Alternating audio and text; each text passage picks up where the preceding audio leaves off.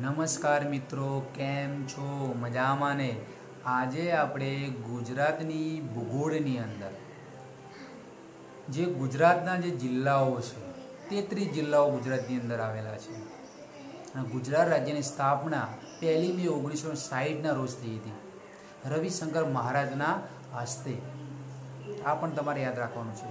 તો આપણે જે ગુજરાતના જે જિલ્લાઓ છે, એના અંદર જે આવેલા જે તાલુકા છે એને આપણે કેવી રીતે યાદ રાખી શકીએ?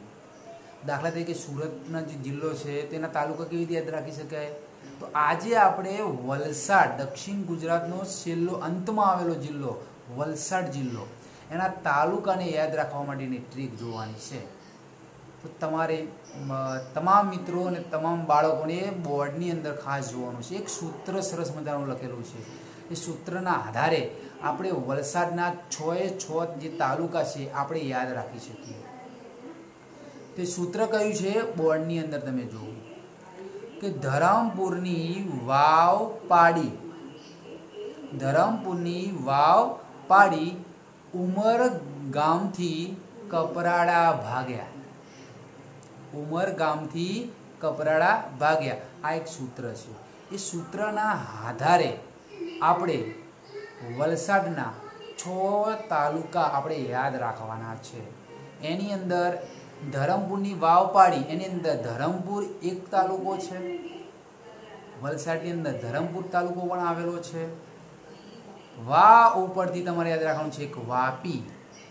શું યાદ રાખવાનું છે? વાપી તાલુકો છે. વ ઉપરથી યાદ રાખવાનું છે તમારે વલસાડ. સિટી એક પણ તાલુકો છે. પા ઉપરથી તમારે યાદ રાખવું છે, પારડી. પારડી પણ એક તાલુકો છે વલસાડનો. ઉમરગામથી કપરાડા ભાગેલ ઉમરગામ પણ એક તાલુકો છે. અને કપરાડા આ પણ એક તાલુકો છે. તો આ પ્રમાણે આપણે વલસાડના છ એ છ તાલુકા યાદ રાખવાના છે.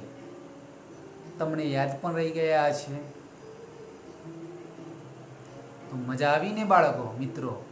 તો તમારે આ વીડિયો ઓછામાં ઓછો એક બે વાર તમે જોશો તો તમને વલસાડના છ એ છ જે તાલુકા છે તમને યાદ રહી જશે. હવે આપણે થોડુંક વલસાડના ચાર પાંચ જે પરીક્ષાને લગતી જે પ્રશ્નો છે મહત્ત્વના સ્પર્ધાત્મક પરીક્ષાની અંદર પૂછાય એવા પ્રશ્નો છે, એની થોડી ચર્ચા કરી લઈએ.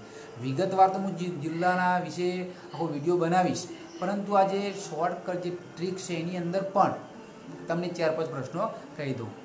વલસાડ જિલ્લો છે એ ઔરંગા નદીના કિનારે આવેલો છે. વલસાડ જિલ્લાને દક્ષિણ ગુજરાતનો બગીચાનો પણ જિલ્લો કહે છે.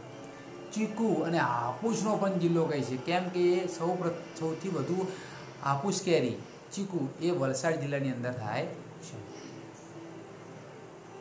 અને પારસીઓનું જે કાશી તરીકે ઓળખાતું શહેર ઉદવાડા એ પણ વલસાડની અંદર આવેલું છે.